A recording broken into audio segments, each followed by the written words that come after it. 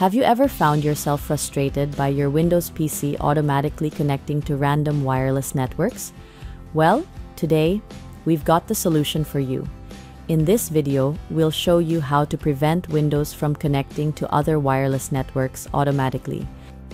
First off, you'll want to open your settings by clicking on the Start button and selecting the gear icon. Next, navigate to Network and Internet. Once there, click on Wi-Fi. Now, scroll down until you see Manage Known Networks and click on it.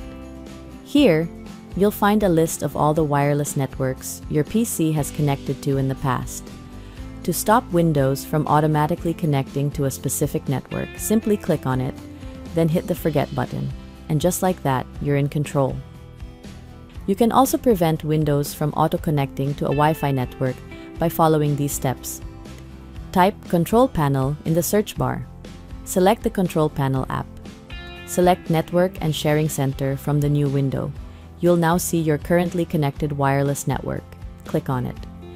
This will show the connection status. Click Wireless Properties here. Now we get to the good part.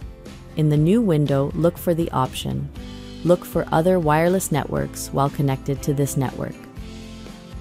Go ahead and uncheck this box.